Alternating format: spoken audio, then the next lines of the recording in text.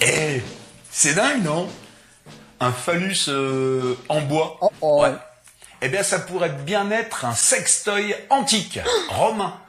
Il a été découvert en 1992 et les chercheurs se sont penchés sur euh, l'objet, dirons-nous. Ils ont analysé l'usure de l'objet pour déterminer son utilisation et a priori, bon bah... Non, parce qu'on croit qu'on a tout inventé, nous, que le monde il a démarré avec nous, mais déjà avant, fonctionnait le monde. Ah bah tiens, et t'as vu comme c'est bien fait déjà?